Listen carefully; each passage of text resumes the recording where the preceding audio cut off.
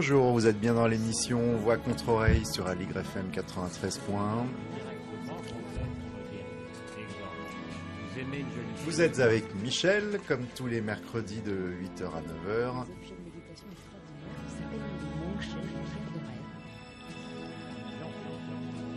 Et aujourd'hui, nous parlons de démocratie.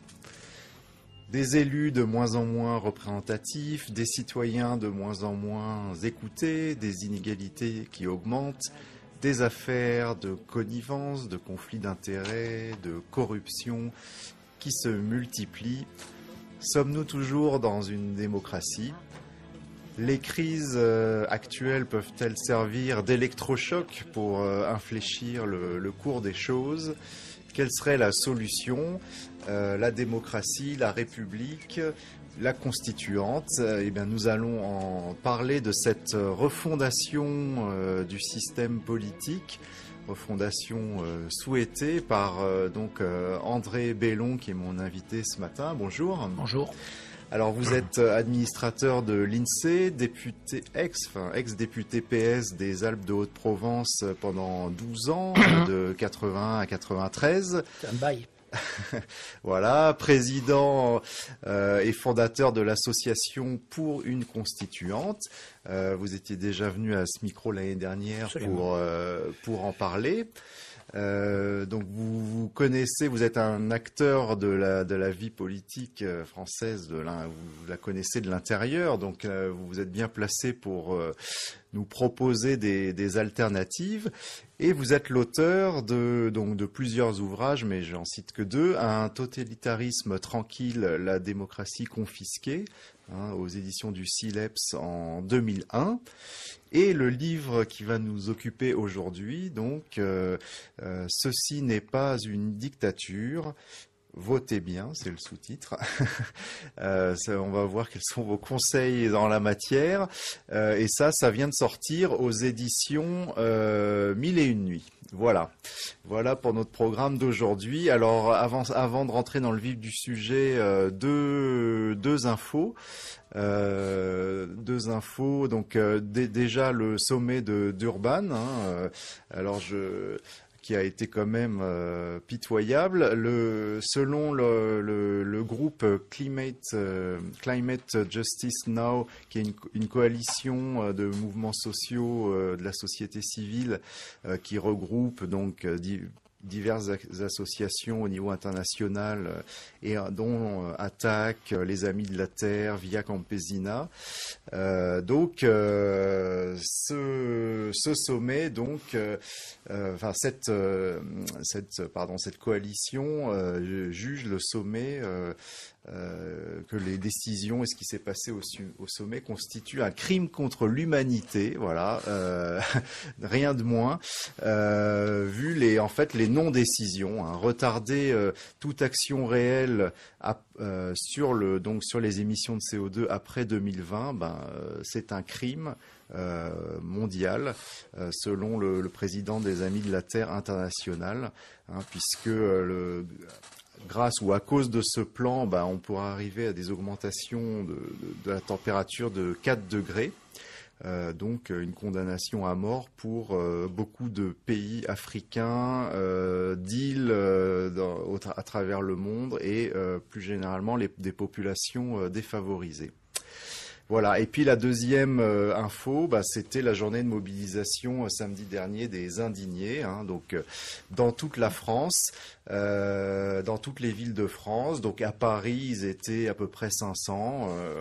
on aurait pu espérer plus. Et à Marseille également, ils étaient très nombreux. et malheureusement, à Marseille, ça s'est terminé par des violences. Voilà. Alors sur les indignés, André Bellon, pourquoi ils ne sont pas plus nombreux euh... Ça dépend ce que vous appelez euh, nombreux. Plus nombreux dans les manifestations, plus nombreux à être indignés de ce qui se passe. Euh, bon, je crois qu'il y a de plus en plus de gens qui sont conscients que la, situation se dégrade et que ça ne peut pas continuer comme ça. Euh, alors ensuite, il y en a effectivement qui manifestent, d'autres euh, qui restent chez eux mais qui n'en pensent pas moins. La vraie question, c'est à quel moment tout ça va déboucher sur une prise de conscience que ça ne peut pas continuer, bon, et qu'il faut retrouver euh, un système dans lequel chacun trouve une manière de vivre assez correctement. Euh, et puisse s'exprimer de façon non moins correcte, ce qu'on appelait autrefois, mais dans des temps lointains, la démocratie. Bon, voilà.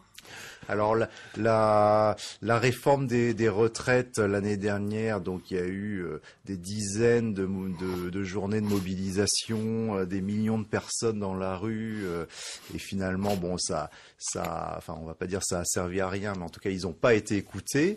les indignés par contre ils sont beaucoup moins nombreux, bon ils sont pas plus pas plus écoutés. Donc finalement, euh, vous dites on n'est pas dans une démocratie, euh, puisque finalement les, décisions sont prises euh, contre l'avis de la population, manifestement. on n'est pas non plus dans une dictature, quand même. On peut pas non plus dire qu'on est dans une dictature. Alors on est, on est dans quoi finalement? Bon, le, titre de hein, pour ceux qui, euh, aiment les peintres, et en particulier la période surréaliste, bon, Magritte, ceci n'est pas une pipe, alors que le tableau représente une superbe pipe. Bon. Dans quel système sommes-nous? Alors c'est bien gentil de dire on est en démocratie euh, parce que tous les cinq ans on élit pour une personne, on vote pardon pour une personne. Plus les années passent, et plus on se rend compte qu'elle considère qu'elle a un pouvoir absolu qu'elle n'est même pas tenue par ses propres engagements. La preuve, euh, Sarkozy et les retraites, il avait dit que euh, peut difficilement dire que c'est une démocratie au sens où le citoyen est impliqué, où le citoyen euh, contrôle quelque chose. C'est quoi finalement ce système? C'est un système qui repose, en France en tout cas, hein, sur une personne, le président de la République, hein, qui n'a aucune... Il ne peut pas être sanctionné, il ne peut pas être révoqué, il ne peut pas être contrôlé, et qui par contre est complètement soumis à des puissances extérieures et en particulier aux opérateurs financiers. Voilà, c'est ça, hein, le système. Alors, euh, vous appelez ça comme vous voulez. Euh, entre c'est une dictature et ce n'est pas une démocratie, que ça résume assez bien la situation. Alors il y a, y a, un ouvrage euh, d'Hervé Kempf notamment où il démontre de manière assez quand même étayée que on est dans exactement ce qui s'appelle une oligarchie. Euh, parce que finalement, euh, vous dites il y a le président tout seul, mais euh, derrière ou à côté du président, en fait, il y a, tout un groupe, une élite qui, qui est aux commandes, quoi. Oui, je connais, je connais Hervé Kempf, j'ai lu son livre d'ailleurs, c'était très intéressant.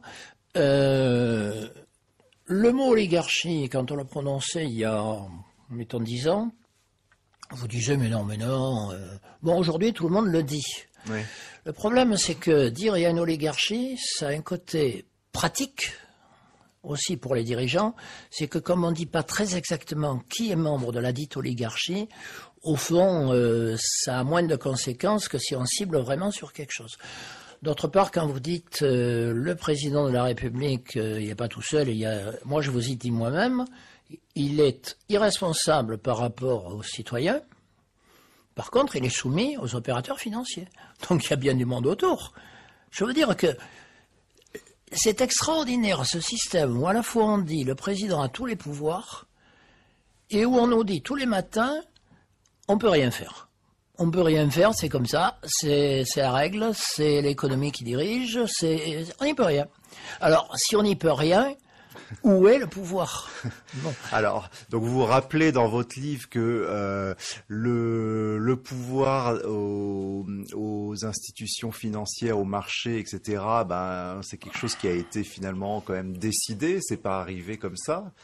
Euh, ça a été décidé, euh, euh prémédité, planifié. Notamment, vous, vous remontez jusqu'à jusque bah, au gouvernement socialiste, Pierre Bérégovoy, la libéralisation des marchés, de la finance, tout ça, ça a commencé dans les années 83. Si on veut remonter dans l'histoire, il faudrait remonter même bien avant en particulier euh, dans les années 70 avec Pompidou-Giscard, lorsqu'ils ont euh, décidé que la Banque de France ne pourrait plus octroyer d'avance euh, au gouvernement et que donc le gouvernement était forcé pour gérer sa trésorerie de faire appel au marché privé, au marché financier.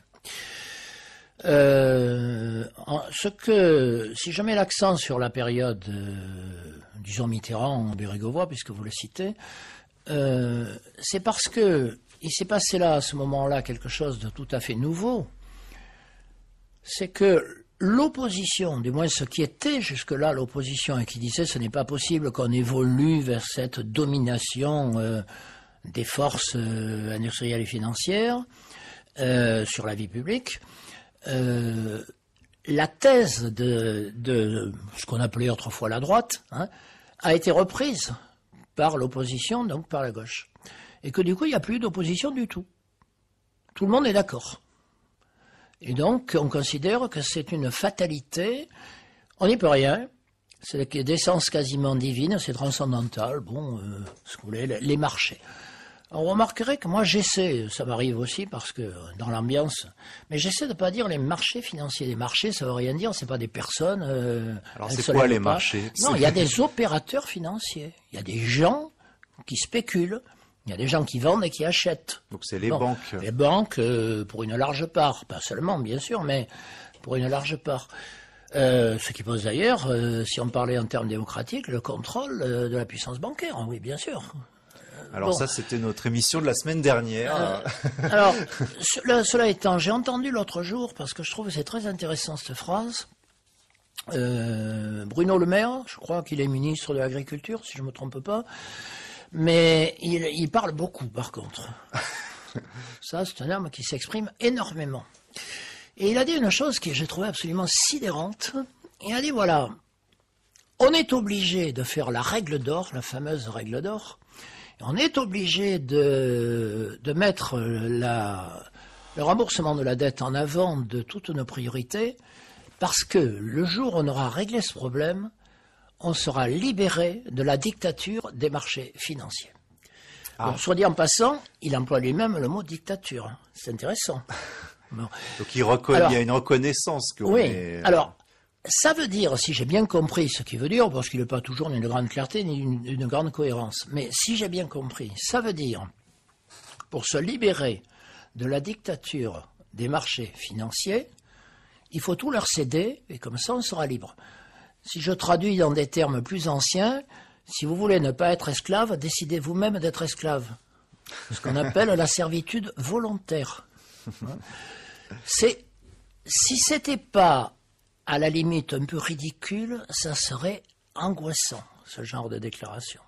Alors euh, ça, on nous matraque ça vraiment à, longueur de journée, donc ça, donc ça c'est vraiment un point euh, sur lequel vous pouvez nous éclairer. clairement, euh, on est donc on est on a des crises à répétition. Là, ces derniers temps, c'est la c'est la, la, dette en, dans, dans les différents pays européens. Et donc, on n'a pas le choix. Il faut euh, chaque année, on s'endette un peu plus, donc il faut euh, des politiques d'austérité. Euh, et donc on est on est coincé, on est prisonnier de cette de cette dette, de ces de ces gabegies, de ces années de de, de gabegies du passé, etc., etc. Bon, d'abord, si on regarde en termes strictement comptables, le fait de faire de l'austérité supprimera des recettes. Si on supprime les recettes, on augmentera la dette, et ainsi de suite. Ça, c'est un problème sans fin. C'est-à-dire, pour, pour régler la dette, on va augmenter la dette, et ainsi de suite. Historiquement. L'austérité, c'est supprimer des dépenses. Et des recettes aussi, du coup. Eh, si vous supprimez des emplois et si vous supprimez des salaires, euh, il y aura moins de recettes hein, fiscales. Bon, ça.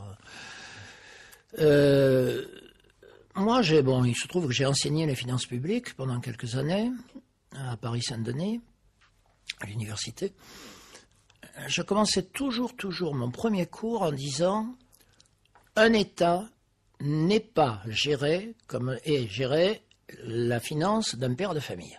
Ça, c'est, un truc qu'on entend tout le temps à la radio. Hein. Un père de famille, il doit, il doit pas avoir de dette. Euh, un État, c'est pareil. Bon. C'est un raisonnement particulièrement stupide. Bon, premièrement, bon, on pourrait dire d'abord un père de famille peut aussi avoir des dettes, y compris supérieures euh, à son revenu annuel, quand il achète une maison par exemple, et puis après il rembourse. Mais ça, c'est un détail. Un État a une puissance que n'a pas un père de famille. Il peut lever des impôts, il peut gérer la monnaie et avoir une politique monétaire, et il peut éventuellement dénoncer tout ou partie de sa dette, ce qu'a fait, soit dit en passant, l'Argentine il y a quelques années, et ça va très bien aujourd'hui. Le problème, c'est que nous sommes depuis quelques années dans une situation où on a enlevé à la puissance publique les moyens de régler ce genre de problème. Par exemple, la politique monétaire, c'est plus possible. Règle de Maastricht oblige. On a privatisé la monnaie. C'est ça, Maastricht. On privatise la monnaie. À partir du moment où la privatise, ben, l'État n'a plus d'influence sur la dite monnaie. Euh, s'agissant des impôts, euh, on veut créer une règle où tout le monde aura la même, euh, la même règle fiscale. Hein. C'est vers ça qu'ils veulent tendre. Mais ça, ça, ça, supprime toute capacité d'autonomie d'un État par rapport à un autre. Et donc, alors que historiquement les ajustements entre États se faisaient par la politique budgétaire, par euh, les impôts, par la politique monétaire, il ne restera plus qu'une variable d'ajustement, c'est le chômage. C'est-à-dire que les États les moins armés auront le plus de chômage et ils en auront de plus en plus. Ben, si c'est ça qu'on veut, ça pour une réussite, c'est une réussite. Donc délibérément, euh, la servitude volontaire nous dites au niveau des, individus, mais c'est là euh, les, États, les gouvernements, on s'est on s'est mis dans le dans l'étau, euh, on a on a enlevé nos degrés de liberté et l'État, l'État, attendez, l'État, l'État démocratique. Parce que s'il s'agit de dire c'est un État financier qui ne raisonne que par rapport à l'intérêt de la finance et du système bancaire, euh, par contre, là, euh, il n'est pas du tout dans les taux. Hein. Pourquoi est-ce que les deux pays les plus visés, hein, la Grèce et l'Italie, ont mis des banquiers à leur tête? Bon, ben ça, c'est l'aboutissement d'un processus. voilà. Euh, alors, ce qui est quand même très étonnant, c'est que je posais la question en introduction est-ce que les crises vont servir d'électrochoc pour réagir? Bon, ce qui se passe pour l'instant, c'est plutôt l'inverse, hein, c'est-à-dire que les crises finalement, on utilise les craquements, comme vous dites, les divers craquements, finalement, pour à chaque fois aller plus loin.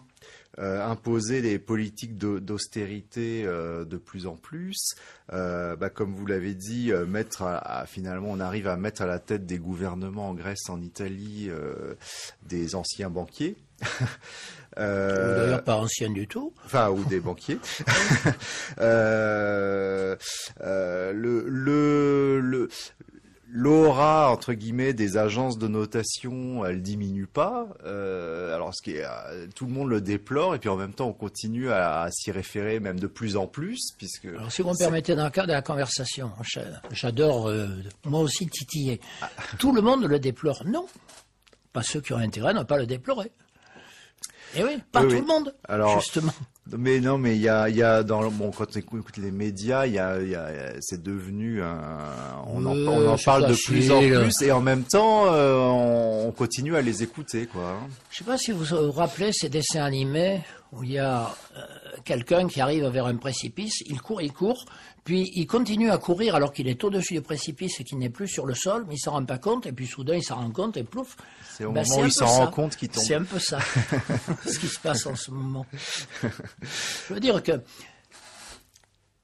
nous sommes, et c'est pour ça que la démocratie est fondamentale, à partir du moment où un système est dirigé par une catégorie sociale très faible, qui est mue par ses propres intérêts, et pas seulement par ses propres intérêts, par sa propre conception de la société et de l'intérêt de la société, par sa propre vision de l'économie.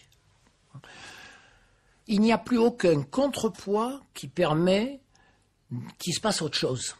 Donc ils s'enfoncent dans leur logique en ne tenant plus compte de rien d'autre. Jusqu'au moment où on arrive effectivement tellement loin dans le précipice qu'on s'en rend compte, mais à ce moment-là, il n'y a plus rien pour vous soutenir et vous tombez. Voilà. Oui, voilà, il n'y a plus de. Quand on voit que donc même au Parti socialiste, finalement, euh, bon, euh, c'est c'est Hollande qui va le représenter et donc qui représente pas forcément un gros euh, une grosse alternative par rapport à à tout ça. C'est vrai qu'on voit que la logique euh, n'a pas de il n'y a pas de. Disons qu'il est moins excité. Il est moins excité que son Alors, euh, ce qui a dû vous faire bondir quand même, euh, vous qui donc défendez la, démocratie, euh, c'est le la tentative de référendum en, Grèce là qui a été qui a été donc abandonné. Ah, moi j'ai trouvé ça très intéressant, très intéressant. Au Moyen Âge, où, paraît-il, quand les gens étaient soumis au dogme, ce qui est le cas aujourd'hui aussi, hein, le dogme de la règle d'or, le dogme de, des finances euh, gérées d'une certaine manière, etc., etc.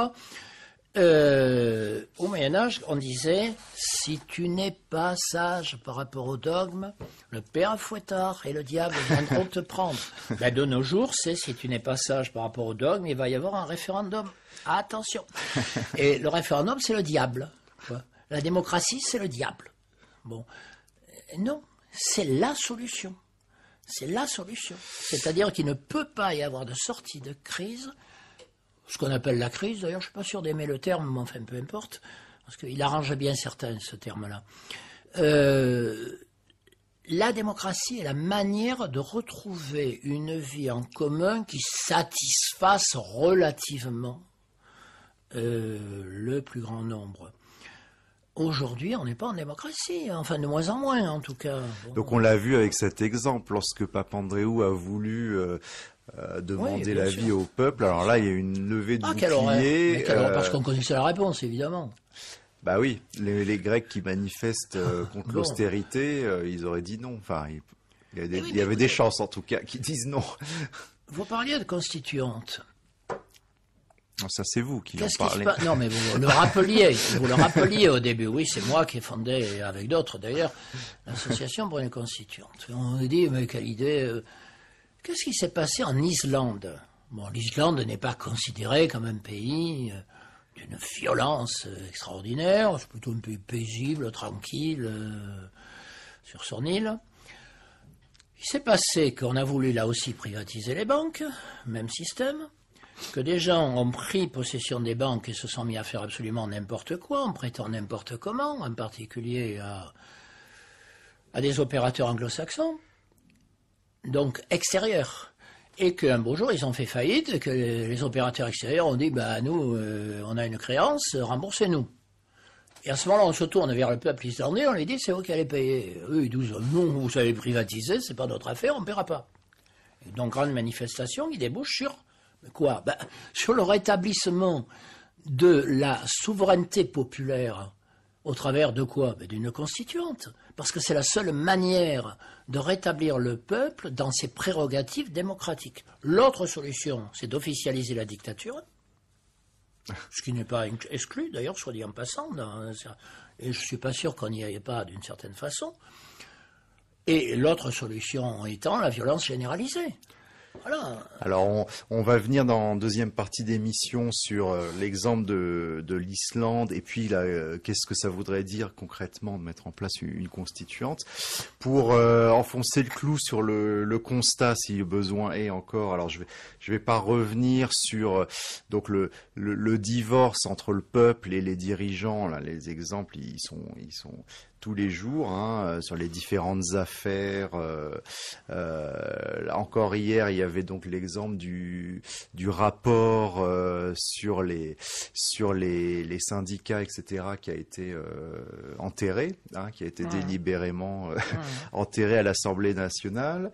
bon, les affaires Clearstream, Word, Betancourt et compagnie. Vous dites aussi, alors, ce qui est, vous dites aussi euh, une contre-révolution. On vit une contre-révolution, euh, quelque sorte euh, morale. Euh, et par exemple, vous critiquez la, la, multiplication des lois mémorielles euh, l'impossibilité de nos jours ou la difficulté de, de critiquer les, les, les, les, religions, enfin d'avoir un point de vue critique sur les religions, ça, ça c'est tout c'est rapidement assimilé à du, à du racisme. Donc il y a une sorte de tension, euh, de tension identitaire autour des, des, des, des, des, religions, des, des, origines, etc. Euh, en quoi c'est lié avec le reste du propos alors? À partir du moment où euh, il n'y a plus de communauté politique, c'est-à-dire ce de contrat social, c'est-à-dire ce lien qui rassemble tous les citoyens autour de, ben, de la vie publique. D'ailleurs, souvent, je dis plutôt vie publique que vie politique, parce que ça a pris une connotation péjorative. Politique, oui. Mais, euh, à partir du moment où il n'y a plus ça, effectivement, on voit que les gens, de plus en plus, se réfugient ben, dans autre chose. Le groupe, la communauté, euh, l'appartenance religieuse, euh, que sais-je. ça, ça remet en cause toute la cohésion sociale et la cohésion nationale. Et ça pose d'énormes problèmes parce que de ce fait, chacune des communautés se sent attaquée dès qu'il y a quelque chose qui vient de la communauté d'à côté. Hein. Et donc, on n'est plus dans un système de laïcité, comme c'est la tradition française, où on a le droit de critiquer euh, tant qu'on veut la religion, la pensée ou quoi que ce soit, hein, étant entendu que euh, bah, ça fait partie des libertés publiques, euh, tout simplement. Là, on n'en est plus là, oui, c'est vrai. Alors, quant aux lois mémorielles, euh, là, alors pas, là, c'est mon côté euh, liberté. Hein. Euh, il n'y a pas d'histoire officielle. L'histoire, on ne légifère pas sur l'histoire. On, on, combat pour une vision historique qu'on trouve juste, hein, mais on ne légifère pas sur l'histoire. Ça, c'est déjà euh, le système de Orwell euh, dans 1984, hein, où euh, on refait l'histoire en fonction des rapports de force. ça, c'est ça, c'est le totalitarisme. Ça, c'est clair. C'est le totalitarisme. Alors, donc on a fait plusieurs émissions, notamment avec Laurence Decoq, hein, sur le, sur l'instrumentalisation de, de l'histoire, l'enseignement de l'histoire et toutes ces questions. il, y a, y a quelques semaines, je recevais aussi Jean-Louis Hamsel, donc pour son bouquin euh, L'ethnicisation euh, de la société française, mhm. donc qui rejoint un peu euh, votre propos, hein, donc où finalement on a tendance à regarder les choses de plus en plus sous l'angle ethnique des origines, ce qui, ce qui crée artificiellement des, des, des tensions des replis, euh, etc. Là, ça se, ça se manifeste également autour de, de, de, de autour de, de, de, spectacles ou d'événements culturels. Donc, il y avait eu quelques années la dernière tentation du Christ de Scorsese, et aujourd'hui, c'est le, le, le, la pièce Le pique-nique de Golgotha au théâtre du Rond-Point qui a soulevé tout un tas de tout un tollé parce qu'il y a un point de vue critique euh, sur la, religion. Donc là, en l'occurrence catholique. Hein, euh. Mais il y avait eu des manifestations contre la représentation de la pièce de Voltaire Mahomet il y a quelques années. Voilà. De la même manière, euh, si on peut plus représenter Voltaire, où allons-nous? Et puis donc il y a le conformisme ambiant vire, vous le dites, au totalitarisme quand on n'a même plus le droit de de représenter la, la, pipe de Jacques Tati. Euh, là, ah c'est pas celle de Magritte, là, mais c'est celle de Tati. Extraordinaire cette histoire. Enfin, ça, on n'avait plus le droit de fumer dans le métro, et donc on enlève la pipe de Monsieur Hulot euh, dans le, sur les affiches du métro. Mais enfin, je ne sais pas quelle est l'abruti qui a pris cette décision. Mais honnêtement, une cure de désintoxication mentale me paraîtrait assez nécessaire. Hein. Pourtant, il a récidivé puisqu'avec la cigarette de Coco Chanel, ah, donc c'était pas c'était pas euh, un épisode unique. Euh, fort à propos, euh, donc c'est Monet et Pink Floyd, si je ne m'abuse. Euh, on est bien d'accord, euh, très à propos. Donc, euh, on est ce matin avec vous, André Bellon, pour votre ouvrage Ceci n'est pas une dictature, donc publié aux éditions Mille et une nuits. Et donc, vous êtes bien évidemment dans Voix contre oreille sur Allegre FM 93.1. Alors, en, en, première partie, on a largement dressé le constat de ce divorce euh, entre le, peuple et euh, son gouvernement, euh, de cette pseudo-dictature ou simulacre de démocratie, comme vous voulez. bon, on aurait pu donner plein d'autres exemples, mais je pense que tout le monde aura compris. Maintenant, ce qui va nous intéresser, c'est qu'est-ce qu'il faut faire. et puis donc dans les dans les périodes difficiles, hein, c'est comme en rugby, dans les périodes, dans les moments difficiles, il faut revenir à la base, faut revenir aux fondamentaux et euh, les fondamentaux, en l'occurrence, c'est le peuple. Oui. Bah, le peuple, le peuple. Lorsque je fais des conférences, ce qui m'arrive euh, un certain nombre de fois, en particulier justement sur mon livre, là, ça, ce n'est pas une dictature, euh, la question peuple vient toujours, et il y a souvent dans la salle une personne disant oui, vous avez raison, le peuple, la souveraineté du peuple, c'est la démocratie. Enfin, le peuple, faut se méfier, etc. Il est capable de pulsion, hein, je ne sais trop quoi. À quoi je, Encore qu'il me semble que la classe dirigeante actuelle elle a des pulsions de caractère différents, mais qui sont pas moins nocives. Mais je dis toujours, il faut pas se tromper quand vous dites peuple, c'est vous aussi. C'est pas il y a des gens et le peuple. Le peuple, c'est tout le monde. Et il m'est arrivé de voir une personne à qui je dis ça se lever et partir. Non, je ah. ne suis pas du peuple. Si, si, tout le monde est du peuple. Le problème, c'est qu'on a, alors j'entends des choses du genre, oui, mais le peuple, par exemple, il a voté Hitler en Allemagne dans les années 30. Bon, d'abord, c'est pas tout à fait vrai. Si on regarde les votes, c'est plus compliqué que ça. Deuxièmement, il me semble que dans l'ordre des priorités, les industriels allemands, pour la montée au pouvoir d'Hitler, ont joué un rôle tout à fait fondamental. Cela étant, le peuple, c'est tout le monde. Il n'y a pas certains et le peuple. Déjà, quand on a admis cette idée, on est dans une vision oligarchique. Tout le monde en fait partie. Et en démocratie, ce qu'on appelle le peuple, c'est le peuple organisé, formé de citoyens libres et conscients et responsables. Bon, ce qui pose des tas de problèmes, l'éducation, euh, euh, la, connaissance du système. Alors, je souvent, oui, mais euh, est-ce que les gens sont vraiment conscients, etc. On a tout fait depuis un certain nombre de décennies pour dessaisir les citoyens de leur capacité de citoyens. Alors, on ne va pas en tout cas, je trouve que certains qui ont créé cette situation sont les derniers à pouvoir en faire le reproche. Alors euh, là, effectivement, l'argument qu'on vous retourne là-dessus, clairement, c'est euh, oui, mais vous vous rendez pas compte, le, la question des crises financières, de la dette, etc. C'est beaucoup trop compliqué euh, pour que ce soit décidé par le peuple, quoi. Alors, la question, la question, euh, la question des crises financières et autres. Bon, j'ai été parlementaire. Et comme je vous le dis, j'ai été, euh, enfin, je dirais pas que je suis un expert, loin de là, mais euh, disons que j'ai enseigné des choses qui, touchent à ce genre de matière. Bon. Ça me fait un peu rire quand on me dit, euh, par exemple, lors du référendum sur le traité constitutionnel européen, euh, oui, monsieur, on demande aux gens, ils ne savent pas de quoi il s'agit. Euh, ils ont des représentants, c'est à eux de voter. Pour connaître un peu l'Assemblée nationale, même beaucoup, et un certain nombre de mes ex-collègues, je ne suis pas sûr qu'ils étaient beaucoup plus conscients que le citoyen moyen. Ah, alors là, des infos de l'intérieur, ça c'est intéressant. je veux dire que la vraie question, la vraie, c'est de savoir si sur des problèmes comme ceux-là, qui sont quand même des problèmes fondamentaux. Il s'agissait de, toucher à l'ensemble du fonctionnement politique et social.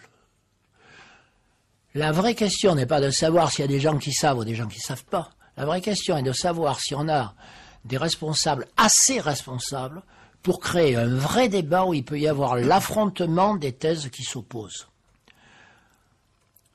Or, à l'époque, les responsables, tout ce qu'ils ont cherché à faire, c'est à dire, il y a une solution, c'est de voter oui. Si vous votez non, vous êtes un crétin, donc votez oui. Voilà. Alors si c'est ça qu'on appelle un débat responsable, je crains que nous soyons mal partis. Alors il y a un autre domaine où c'est très frappant, cette, cette esquive du, de tout débat euh, contradictoire, c'est le nucléaire, euh, où finalement... Euh, on retrouve le même type de, situation où euh, c'est comme ça et si vous si vous êtes contre, c'est que vous êtes irresponsable. Il y, a, un peu de ça. Ou en tout cas, on veut pas en débattre. On trouve ça dans des tas de sujets, euh, celui que vous venez de citer comme celui que j'ai cité avant. La, la question, c'est pour moi, c'est lorsqu'une société en est à dire, à, du moins dans sa représentation publique, politique.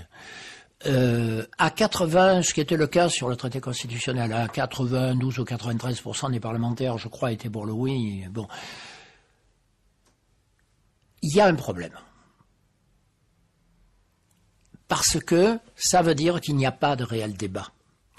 Or, on ne peut pas créer un avenir, du moins à mon sens, sans débat. Un avenir qui se crée sans débat, ça s'appelle un totalitarisme. Et un totalitarisme, mais ça, je suis peut-être optimiste là en la matière, mais je, écoutez, l'optimisme, je trouve que c'est une qualité, hein, finalement. euh, un totalitarisme ne peut pas durer, ou du moins, s'il durait, ce sera la fin de l'humanité. Alors, le, donc vous dites finalement le pour avoir euh, donc connu l'Assemblée nationale de l'intérieur uh-huh. pendant 12 ans, euh, euh, finalement le le peuple en prenant par exemple lorsqu'on lui a demandé son avis en, en 2005 sur le traité constitutionnel, et uh-huh. finalement il n'est pas si inapte que ça à avoir un avis par rapport aux, députés. Et pourquoi serait-il inapte? Dire écoutez Allez, prenons quelqu'un qui est considéré dans certains milieux comme euh, un super expert, Alain Menck. Bon, moi j'ai un peu lu ce qu'écrit Alain Menck, franchement, je trouve que ça n'a aucun intérêt, très franchement. Bon, ça n'a aucun intérêt. Et, et, pourtant, bon, alors pourquoi, euh, pourquoi cette espèce de référence, ou de révérence d'ailleurs, à un certain nombre de personnages dont on a décidé que eux savaient moi, pour avoir fait, je dis pas, je dis pas que le, sur le traité constitutionnel, je ne dis pas que euh, soudain la vérité émergeait des profondeurs populaires spontanément. Je dis simplement que pour avoir vécu ce référendum, il m'a semblé que du côté des partisans du non, on avait plus lu le traité que du côté des partisans du oui. Hmm. Ce qui veut dire, ce qui veut dire que lorsqu'il y a débat, il y a toujours un plus. Et moi, ce que je disais à cette époque, aux partisans du oui, vous avez le droit de, voter oui, et heureusement que vous avez ce droit. Hein. Il faut simplement que vous sachiez que votre oui ne vaut rien si vous n'avez pas le droit de dire non. La démocratie, c'est le droit de contester. Il n'y a pas de démocratie s'il n'y a pas de possibilité d'opposition. Si on est tous d'accord, s'il y a un consensus général sur tout, on n'est pas en démocratie. C'est pas vrai. Alors vous, donc premier élément, la démocratie, le peuple, euh, et donc euh, comment ça se matérialise Ça se matérialise, ça peut se mettre en place. Euh, ce que vous proposez, c'est donc cette constituante. c'est une assemblée constituante élue au suffrage universel qui va décider d'une refondation du système politique. C'est la constituante, euh, pour moi, c'est effectivement un aboutissement, c'est-à-dire une règle. les institutions, c'est ce qu'on peut appeler une règle du jeu politique. Une règle du jeu. On constate qu'en ce moment, cette règle du jeu patine, puisqu'aussi bien les opinions diverses n'arrivent pas à s'exprimer de façon visible dans les institutions. À un certain moment, il faut donc repasser par la case peuple. Mais ce n'est pas uniquement un aboutissement pour moi, la constituante. C'est aussi un processus de réappropriation de la vie civique par les citoyens. C'est-à-dire que soudain, ils se sentent à nouveau citoyens. Et la constituante, c'est l'aboutissement de ce processus de recréation de la citoyenneté. Or, on me dira, c'est utopique, c'est machin et truc. Bon, d'abord, euh, franchement, euh, le système actuel, c'est une utopie cauchemardesque. Donc, euh, bon, alors utopie pour utopie, je préfère celle-là. deuxièmement, je pense qu'une société vivante, elle vit aussi sur des utopies. Et un des reproches qu'on peut faire, majeur d'ailleurs, à la société actuelle, c'est justement qu'il n'y a pas d'ailleurs. Il y a uniquement une chose obligée. Hein. C'est pour ça d'ailleurs que l'éditeur m'a mis en bandeau là sur la couverture en dessous du titre Ceci n'est pas une dictature, votez bien. Avec un point d'exclamation. Votez bien, ça veut dire le système vous dit votez bien et en vous disant ce qu'est le bien, bien entendu.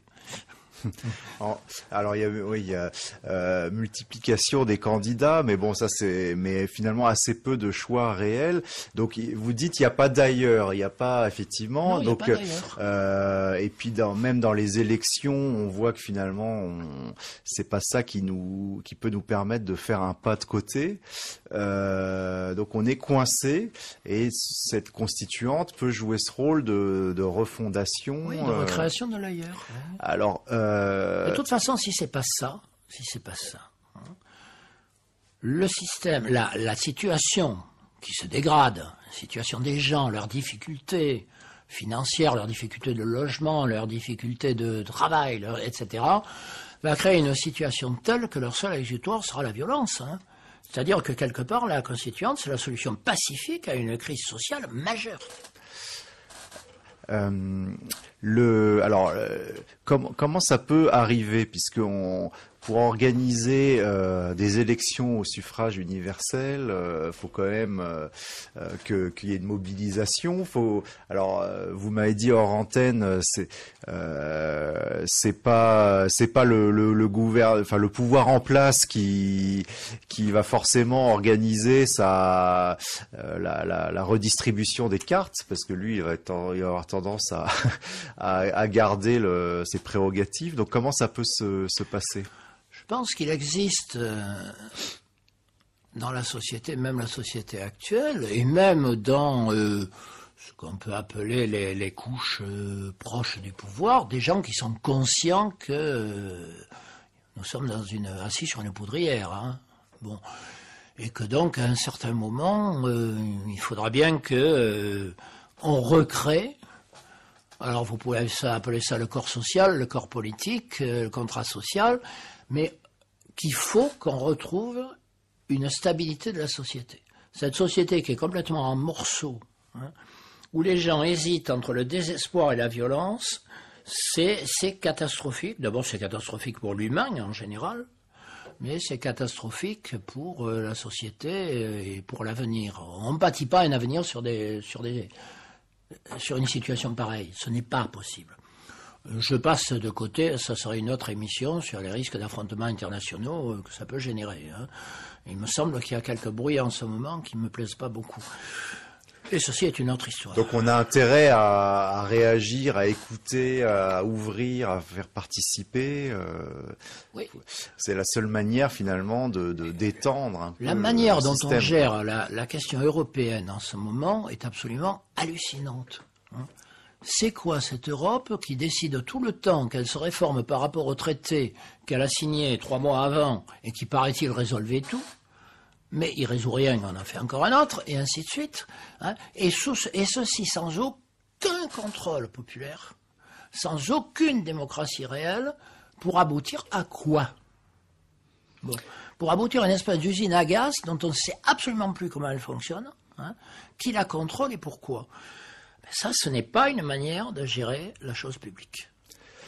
Alors, euh, je reviens quand même à, la charge. On imagine mal, euh, par exemple, euh, François Hollande ou Sarkozy encore moins, qui est un des deux élus, décider de finalement de, de, rentrer dans ce processus-là de, de, création d'une constituante, euh, de, redistribuer totalement les, les, règles du jeu politique. Euh, ça a été un peu évoqué avec Montebourg lors des primaires, euh, lors des primaires socialistes. Mm-hmm. Mais Ce qu'on appelle euh, la mondialisation, hein, ce cher Alain Menck, euh, que j'aime pas particulièrement, comme vous l'avez remarqué, nous avait expliqué que la mondialisation c'était le bonheur, la mondialisation heureuse. Bon, honnêtement, ça se révèle une catastrophe. Euh, elle est en cause fondamentalement. Et il n'est pas vrai qu'il n'y a pas d'autres possibilités. Il se passe des choses dans le monde où il y a des pays qui cherchent une autre issue. Hein. Regardez ce qui se passe en Amérique latine, les accords monétaires. Regardez l'Argentine qui a trouvé une voie euh, plus autonome. Regardez la Malaisie. Regardez ce qui se passe. Et puis la reconstruction dans le monde, le pacte de Shanghai, les BRICS, etc., etc. Le problème chez nous, c'est que on est enfermé dans une situation à la fois nationale avec euh, un président tout-puissant euh, qui euh, finalement est forcé de rendre des comptes d'état d'instances nationales ou européennes, c'est-à-dire qui a un pouvoir total, je le répète, sur les citoyens, mais pas de pouvoir par rapport aux puissances financières, on est devant une contradiction majeure. Cette contradiction, bien sûr que c'est à pas a priori celui qui sera élu qui va dire je me remets moi-même en cause. Encore que, on a vu dans l'histoire des gens exceptionnels, mais c'est pas très courant, faut bien dire. Mais il y a un moment où la volonté de la majorité, de la grande majorité, ça existe aussi. Elle se manifeste. Elle peut se manifester sous des formes tout à fait pacifiques, mais tout à fait claires. Hein. et donc, il y a un moment où je pense que, ben, devant l'impossibilité de résoudre la situation de la part de ceux qui dirigent, et devant une volonté autre qui se manifeste ailleurs, bah, la solution s'impose. Euh, essayons d'en sortir en recréant bah, ce qu'on appelle la souveraineté populaire, la démocratie, euh, et donc par le biais d'une remise à plat euh, du système et par la recréation de la citoyenneté. C'est ça d'ailleurs qui crée la dynamique d'un pays. Hein, c'est pas la soumission.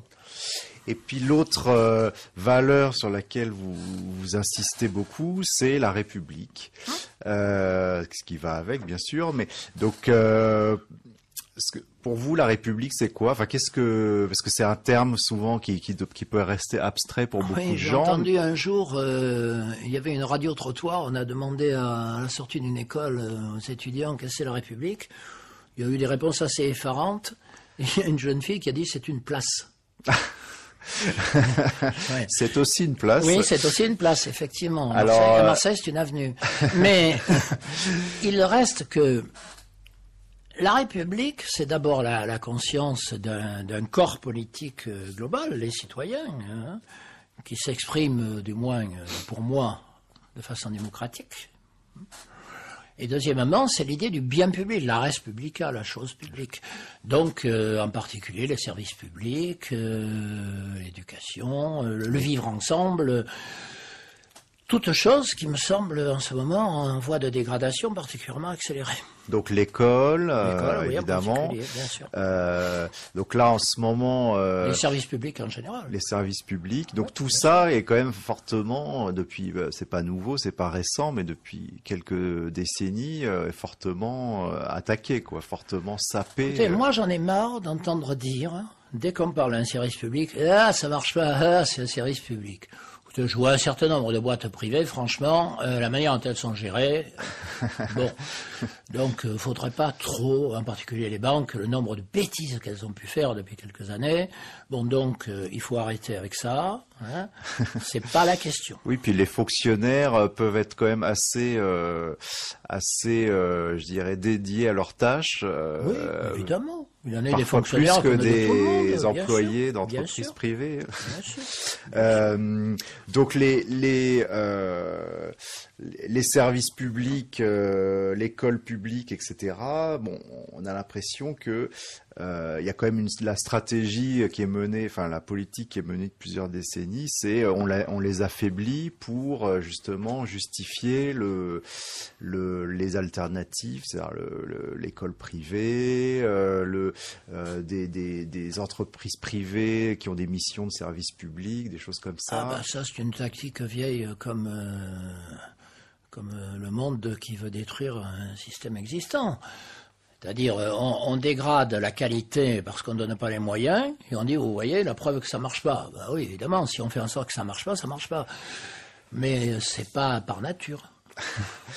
Et puis donc, euh, donc cette République, euh, euh, alors malheureusement, on a, il nous reste peu de temps, mais vous vous faites référence aussi pour aux valeurs donc du Conseil national de la résistance, aux valeurs des Lumières. Alors, et vous dites le, finalement de nos jours, on se réfère quand même assez souvent au, à la philosophie des Lumières, mais pour justifier des choses qui n'ont qui n'ont rien à voir. Donc c'est-à-dire que ces valeurs sont, ont quand même tendance à être largement euh, dévoyées. De toute façon, euh, nous sommes dans une euh, période où on se réfère systématiquement à des valeurs pour se justifier soi-même hein, et pour faire le contraire. Hein.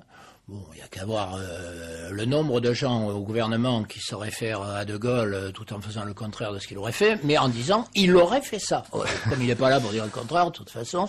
Oui, c'est sûr que les gaullistes. Bon, euh, j'ai entendu les mêmes choses sur Mendes France. Jaurès. Sur Jaurès, pareil, etc., etc., etc.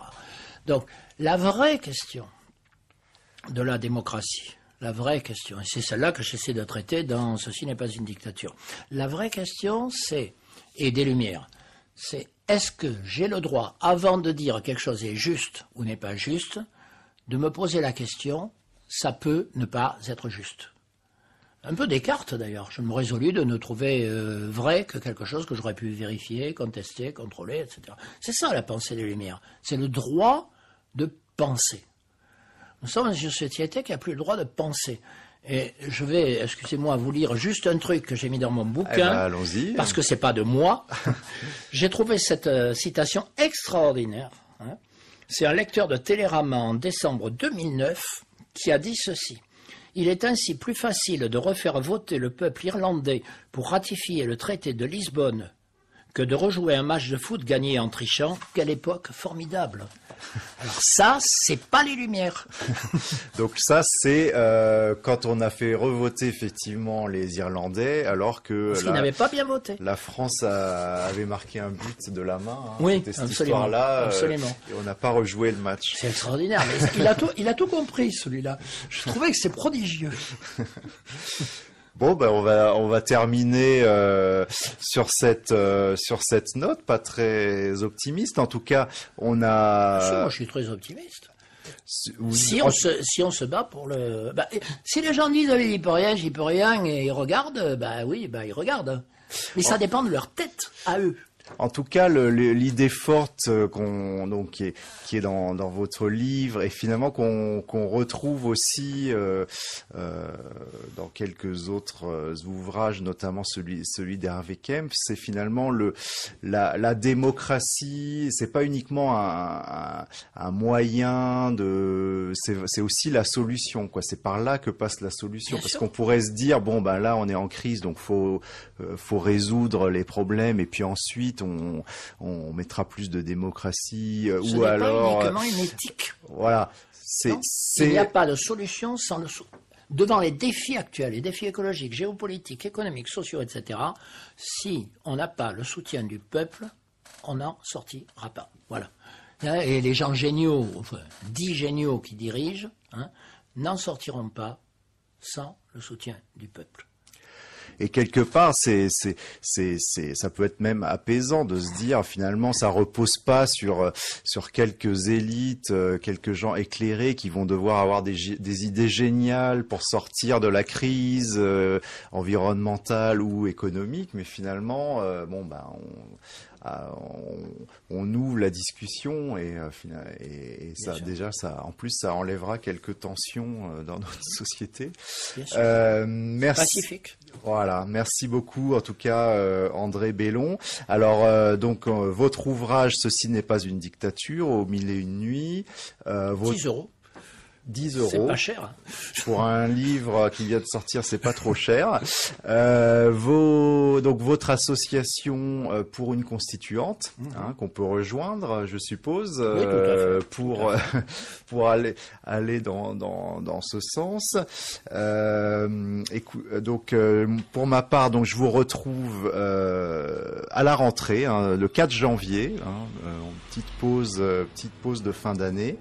Euh, vous aurez donc les émissions en ligne sur le site soit d'Aligrefm, aligrefm.org, soit de l'émission Voix contre oreille, donc c'est voix contre oreille tout attaché.org.